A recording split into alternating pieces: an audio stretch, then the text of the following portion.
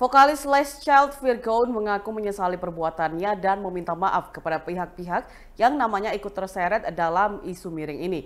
Seperti diketahui, Virgoon disebut telah berselingkuh dengan perempuan berinisial TAA sejak 2021 lalu. Sayangnya, nama sang istri yakni Inara Rusli yang dikhianatinya sama sekali tidak disebut oleh Virgoon kala sang musisi meminta maaf. Virgoon meminta maaf kepada ketiga anaknya atas keriuhan yang terjadi dalam video klarifikasinya yang diunggah di kanal YouTube pribadi.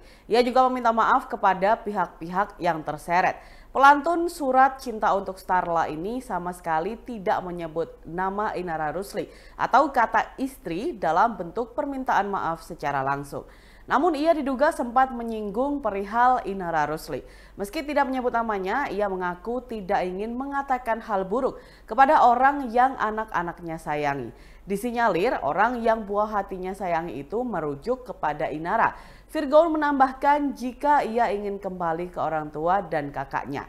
Pria 36 tahun itu mengaku berharap diberi kesempatan untuk memperbaiki diri dan berbakti kepada ibu dan kakaknya. Hal ini bak menjadi sinyal jika Firgaun dan Inara bisa saja berpisah meski belum ada pernyataan resmi tentang perceraian. Di akhir statementnya, ia juga membeberkan telah menggandeng Sandy Arifin sebagai kuasa hukumnya. Virgon pun meminta segala pertanyaan terkait masalah tersebut bisa ditanyakan langsung kepada Sandy Arifin.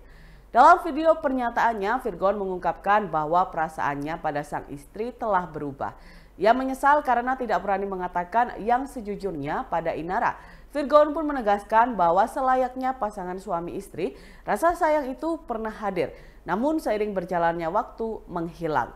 Namun ia mengakui cara yang ditempuhnya salah, yakni malah mencari kenyamanan di luar rumah tangga.